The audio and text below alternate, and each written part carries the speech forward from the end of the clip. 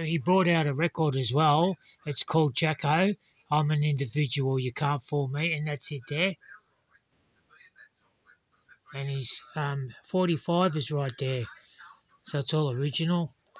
I hope to get him to sign it one day. He's a type of bloke, you either like him or you don't like him. If you don't like him, well, you wouldn't want to walk up and say that to his face because he'd probably knock you out.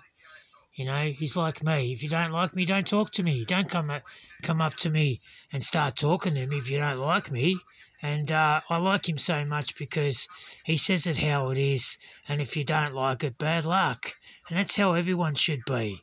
You know what I mean? Everyone criticises him and says this and says that about him. I've got nothing but good things to say about the individual. You can't fool me.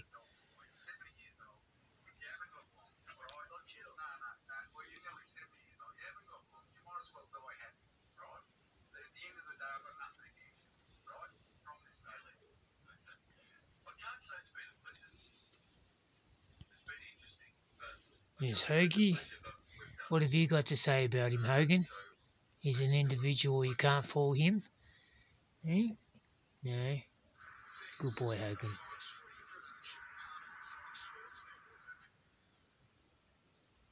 He's such a placid dog, this guy. Aren't you, Hoax?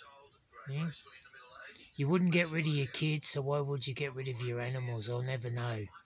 Doesn't make sense to me. But anyway, has been smooth and